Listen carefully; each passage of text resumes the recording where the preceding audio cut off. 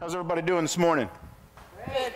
Outstanding. Hey, I do want to ask uh, is there anybody here this morning that has lost somebody that served? A friend, a relative? Could you just stand up for a minute? I, I just I want to honor you guys because your loved one paid the sacrifice, but it's a sacrifice that's been paid that you guys live with every day. So thank you. Thank you very much. Um, there's a few other announcements I do want to hit on this morning. Um, man, that, that video tore me up. First off, I do want to hit on the, the connection card. It's really important that you fill that bad boy out. I know we talked about it a lot, but the whole purpose of us coming to church on Sunday is so we can show up, recharge, be around like minded Christians who are here to support and take care of each other. We can't do that if we love you. We want to laugh with you when you laugh. We want to pray with you when you, when you need prayer. And we want to cry with you when you, when you need to cry. And it's just so important that we keep that information updated because sometimes we might go to look for somebody and we can't get hold of them. So just take a minute and, and make sure and fill that thing out. It's, it's a lot more than just uh, we want to know who, who was here today. It, it's a vital, vital tool for us. Also, uh, for those of you that don't know, it's uh, Michael's last day or last Sunday with us. Um, he is moving, I believe, to, to Florida. Is that correct? So he will be leaving us. There's a plaque out front if you guys want to sign off on it and, and wish him well. Um, make sure and grab him before you get out of here today. Give him a big squeeze and a thank you. He uh, is kind of the, the mastermind, the maestro back there that, that makes, uh, I know, myself and the, the worship team look awesome. So it, he's definitely going to be missed. Make sure and stop off and tell him. Um, also, do want to mention kids camp. Hey, if you guys know somebody that, that has some kids, uh, a couple of kids that, that might need or want to go to kids camp and maybe they can't afford it, that's kind of a barrier for them, catch me after uh, service today and let me know about that and see if there's, there's some things we can do to make that happen. I would hate for uh, money to be something that would keep these kids from experiencing this blessing. So just let me know. Catch me after service. Uh, but getting on to the message, today we are continuing our series on uh, in, uh, surviving our finances. And it's been a pretty interesting series. At least I hope that you have found it uh, interesting so far. You know, we've talked about a lot of stuff.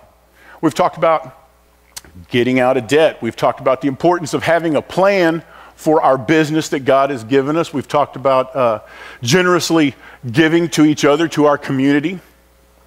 Today, we're going to talk about investing eternally. And I know what everybody's thinking right now. He said investing eternally, but what he's really talking about is we're going to hear for the, the next 20, 30 minutes about how we need to give money to the church. And, and I want you guys to know something. That's not what we're talking about. I know where you're coming from. You know, I don't have the story of, of coming to Christ at 15 years old and being on the Jesus wagon, yay, Jesus, my whole life. Um, truth be told, you know, I was raised Catholic. I was a good Catholic. I went to church uh, on all the major holidays and made uh, confession at least once a year. So I really didn't get on board with this until, uh, until in my 30s. As a result, I was one of those guys that anytime somebody wanted to start talking about investing in the church, investing eternally, giving money to God, I was usually in the back and I would just very quietly excuse myself because I didn't want to hear it. And I just want to be real clear this morning. You know, I didn't say we're talking about giving money to the church, I'm, I'm talking about investing eternally. And you know, it's easy to be jaded on this subject. It really is. And I understand that, you know, I remember when I was a kid, uh, I lived in Victoria, and we were very much a pretty much a segregated community when it came to religion. You were Catholic or you were Baptist. We didn't non-denominational. We didn't even know what that meant. You picked a side, and that's all there was to it. It was kind of like living in Ireland without the bombings. We had uh, a preacher move in to town. I believe he was from Houston. And man, he showed up and he had a jag, and his wife had the nicest Mercedes, and they started this church. And that church was all about money. And it was really at a time when a lot of people took religion and stepped away from what I consider to be the goal of the church, which what should be the goal of the church, which is advancing the word of God, and they really turned it into an enterprise. I remember looking, I attended one service, and that's the first thing I thought. I was like, man, this isn't, this isn't about a business of bringing people to God. This is a business about being in business.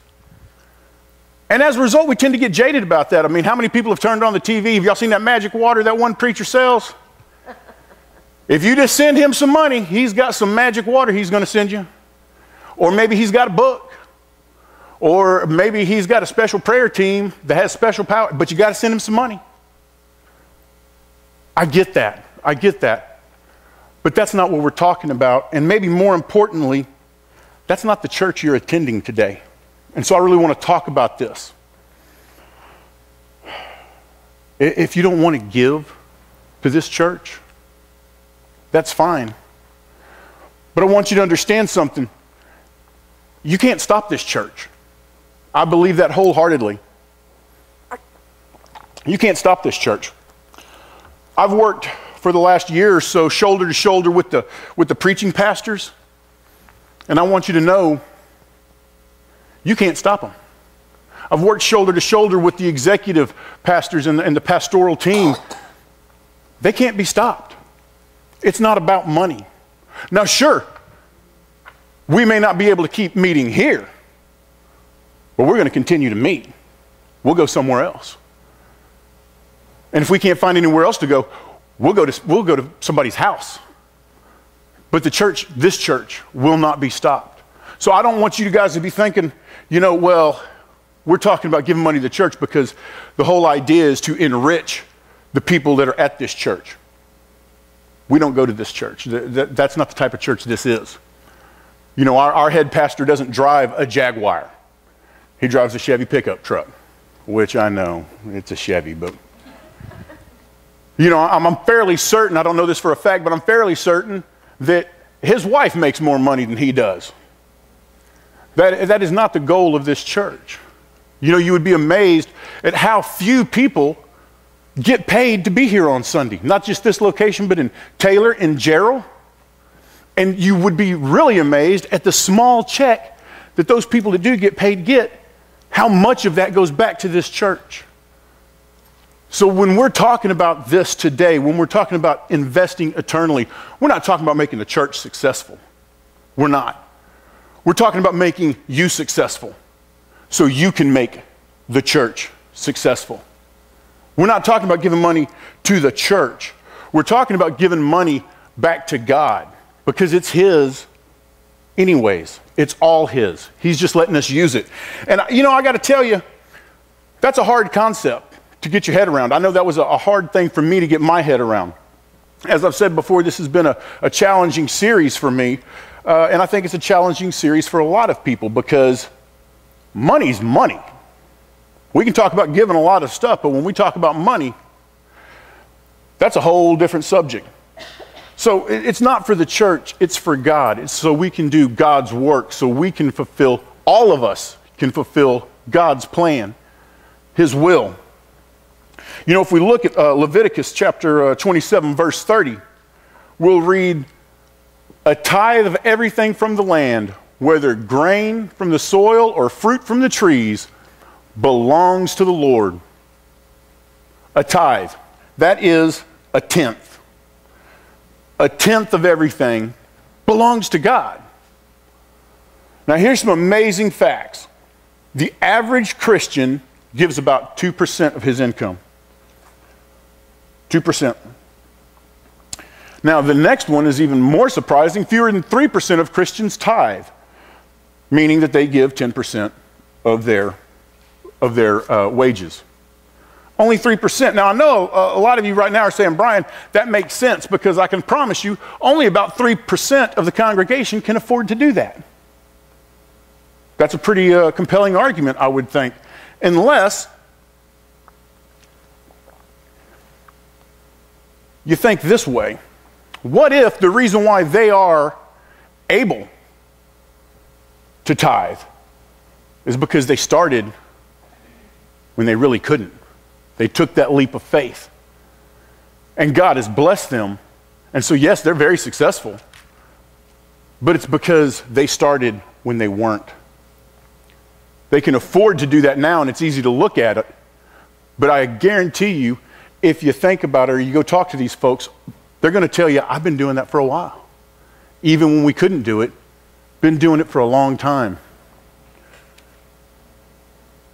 So uh, we had talked last week about two kinds of businesses. There were two kinds of business, or, or God had given us a business to run, and we have two kinds of businesses to look at.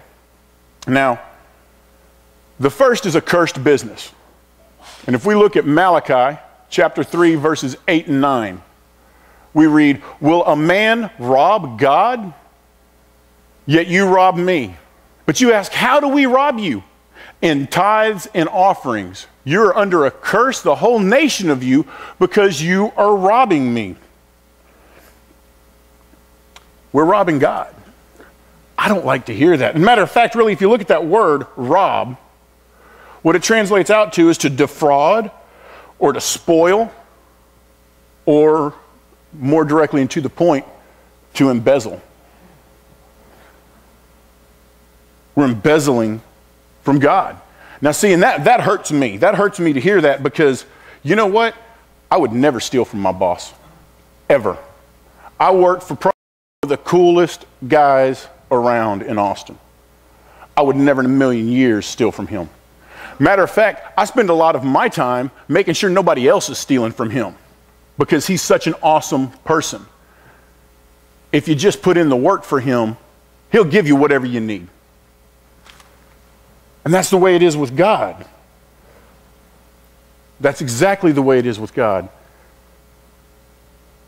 We, we tend to make a bad trade in life when we decide to embezzle, when we decide to, to not give we're making a bad trade. We're trading right now for eternity. We're, we're, we want right now what we want instead of waiting for it and getting the blessing. You know, I remember reading a story about uh, a, fella in New York was quite ingenious. He was looking to make some cash. So if anybody's ever been to New York, you know you got the guy, and it's no joke. you want to buy a watch? They're all over the place. And so what this guy did is he ran out, he went out and he bought a bunch of computers. And he put them in boxes. And then he went and got some, uh, some stretch wrap, heat wrap, and he, he made those boxes look like they were brand new. And what he did was, then he got a really nice computer, and he put it up on display. And everybody that walked by, he's like, hey, I've got these computers for sale. And they'd mess around with this display computer. They'd buy a computer. Well, guess what? They got home and it didn't work. It was a piece of junk. And of course, by the time you go back to catch this guy, it's New York. He's gone. Never to be seen from again. That's what we do. That's the choice we make. We see a bright, shiny thing and we think we're getting a great deal, and we're happy until we get home and start utilizing it and we find out we made a bad trade. It wasn't worth it because what we, what we decided we had to have right now, it wasn't really worth it. So we have this cursed business. And if we, if we read Haggai uh, chapter 1, verse 6, this pretty much spells it out. You have planted much, but have harvested little. You eat, but never have enough. You drink, but you never have your fill. You put on clothes, but are not warm. You earn wages only to put them in a purse with holes in it. Man, how many people can relate to that? I mean, don't do you ever feel like that? I know I do sometimes. Just you're spinning your wheels. You're putting in all the effort and putting in all the effort. But no matter what, you, you I, I love the way it says that. You earn wages only to put them in a purse with holes in it. It's going out as fast as it's coming in, time and time again. And it's because We are operating under a cursed business. Now, if we look at the blessed business, and we read Malachi 3, uh, verses 11 and 12, we read that I will prevent pests from devouring your crops, says the Lord Almighty, and then all the nations will call you blessed. So, right here, God's telling us, I'll bless you, I'll take care of you. While other people are going through strife, you're not going to have that same strife. I'm not saying you're not going to have any strife. That's not the way it works. But you're not going to have the same strife. He's going to bless you. You know, there's a saying, Daryl loves to say this, you know, you can, you can live 90% with God's blessing, and it's far more than trying to live 100% without it. It's just not going to be the same. You're not going to have that same blessing. And I want to ask you a question this morning. How much do we pay in taxes? 20%? If you're an independent business, you're paying closer to 30, 36% in taxes? I mean, it's crazy, right? How about when, uh, when we go out for dinner? When we go out for dinner, how much do we tip our wait staff? 15%? Maybe 20 if they did a really good job. Boy, that tea glass stays full. We're going we're to give up an extra 5% for them. How about when we go to the barber? Or for you ladies, the hairstylist, whatever you'd like to call it. We tip them, don't we? And it's, and it's usually about 15%, maybe more. The reason why I bring this up is because this is, this is what really hits home. We tip people in our lives more than what we're willing to pay God on Sunday. We're willing to tip for a service more than we're willing to pay for a blessing. And that's why he says we're, we're embezzling. We're embezzling from him. And look what God says. Read Malachi 3, verse 10. Bring the whole tithe into the storehouse. How much of it? The whole tithe into the storehouse, that there may be food in my house. Test me in this, says the Lord Almighty, and see if I will not throw up the floodgates of heaven and pour out so much blessing you will not have room for it.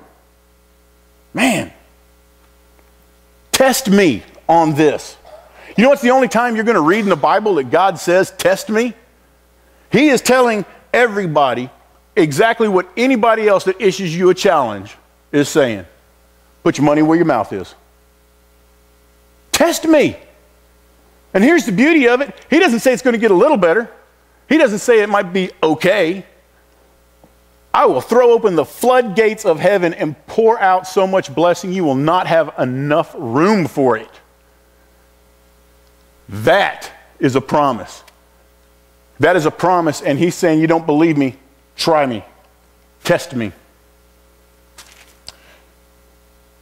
I always talk to uh, uh, a lot of atheists. Always end up talking to a lot of atheists. And one of the conversations we always have, you know, they'll get to running down God, they'll get to running down Christ, and they'll start picking and choosing verses out of the Bible. And one of the things I always ask them is okay, have you studied the Bible? Well, what do you mean? Well, have you tried it? Well, you know, I've read parts of it. No, no, have you, have you tried it? Well, I went to, you know, church when I was a kid with some friends and it didn't really do anything for me. No, that's not what I'm asking. Have you tried it? Have you put the effort in to see if there's any validity to what's in this book? Well, no, they haven't. Time and time again. They don't want to try it. See, Christianity has never been tried and found wanting. Christianity has been found hard and not tried.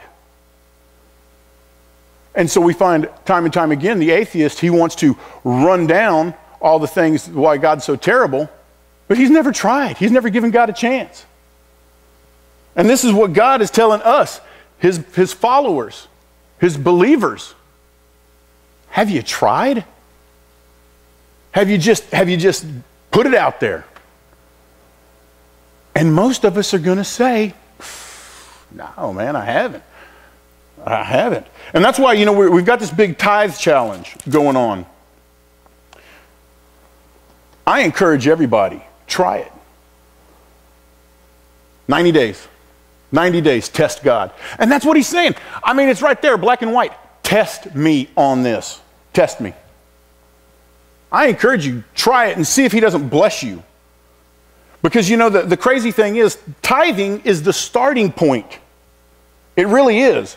If we read Matthew 23, 23 and 24, we, we see we're right here at this point, Christ is, is giving the Pharisees a hard time because the Pharisees were always really good about giving up their cash. They never had a problem giving a tenth of whatever it was, they'd give a tenth.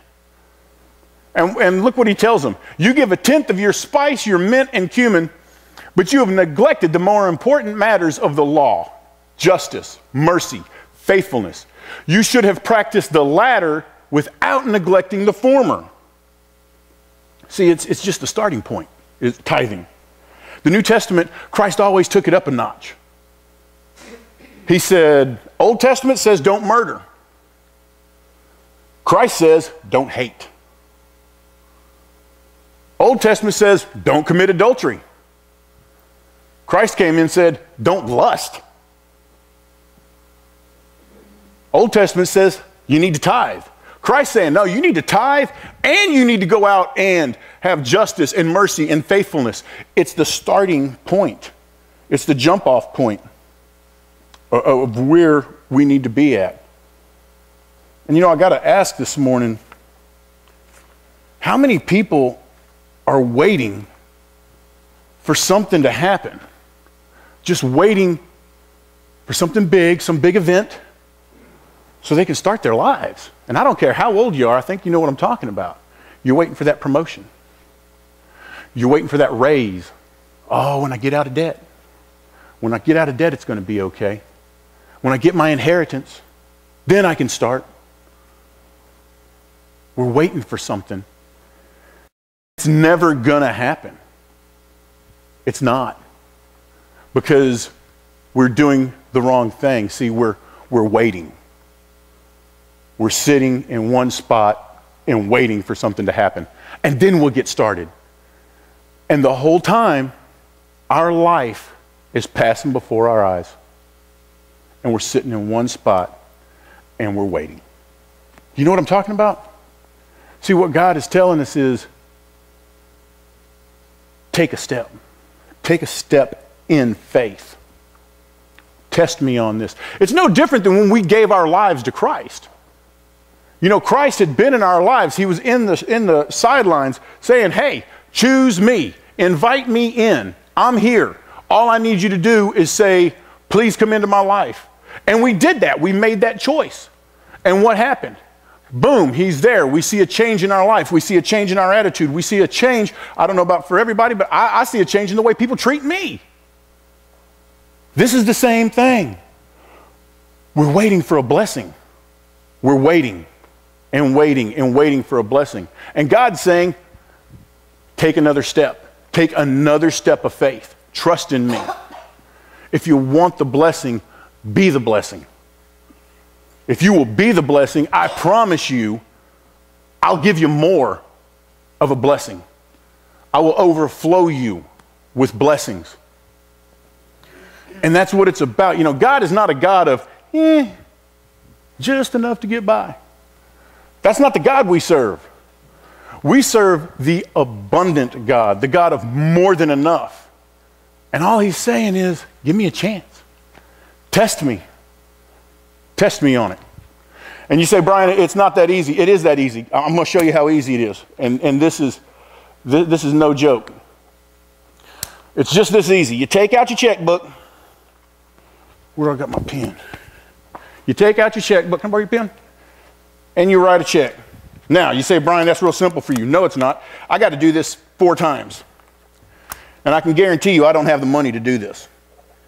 But I'm going to write a check, and I'm going to trust that God is going to be there for me because He says He will. And I am not kidding. My wife is going to have a coronary when she gets done with this service.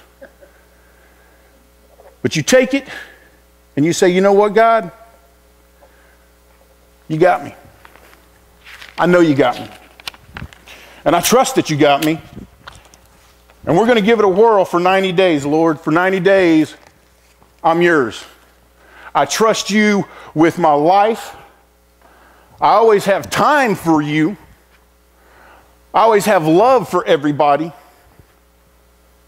Now I'm going to hit I'm going to hit myself where it hurts. I'm going to hit myself in my pocketbook. And I'm going to trust you that just like I can't outlove you and I can't give more time than you have for me to give, I'm going to trust that you are not going to let me lose my house when all these checks clear. You're going to be there for me. But that's how much I believe because the Lord loves a cheer, cheerful giver and He's promised He'll do it. And so I, I challenge every one of you guys give it a whirl. Try. Prove God to be a liar, and I can promise you, you will find out He is not one. He would not have said, Test me on this, if He did not plan on delivering you wholly, fully, 100%. Will you pray with me? Lord, we come to you this morning and we're searching.